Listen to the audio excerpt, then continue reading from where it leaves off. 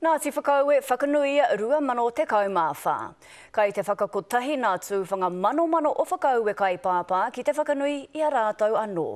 I tae atu a Hinerangi Goodman ki te wānanga whakatupu ōhanga pakihi a te iwi i te ata nei. He ahurei e hāngai ana ki te oranga o te iwi, ā, me te whakatipu hoki i ngā mahi pākihi i tīmatahia e ērā kua tū pakari, arā ki roto o aua mahi. Me te manako anō, kia whai huarahi mai ko ērā o ngā reana e piki ake ana. Look, Ngāti Whakaue has got a lot going for it and it's got, you know, huge assets and huge potential and it's invested so much in education, this is an opportunity to really connect all that.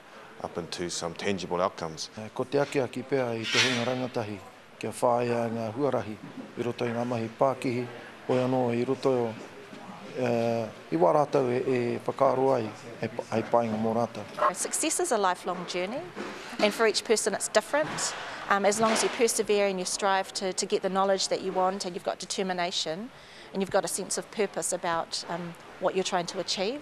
He ahurei kua roa e wawatahia ana te whakakao mai i te katoa o ngā reanga, mai ngā rangatahi ki ngā kōeke o Ngāti Whakaue. It's good for um, that we got um, leaders in Ngāti Whakaue that can help us out.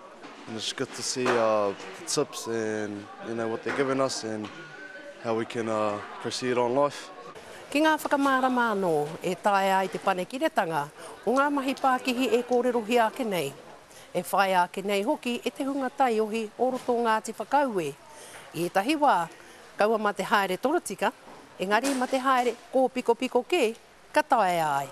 Your pathway to success isn't necessarily linear and it's often squiggly in its, you know, ngā piki me ngā heke and ngā hurihuringa. Kia whakanuia anō, arā, he tika tonu kia riro mā Ngāti Whakaue anō, he hautū ngā mahi mō Ngāti Whakaue.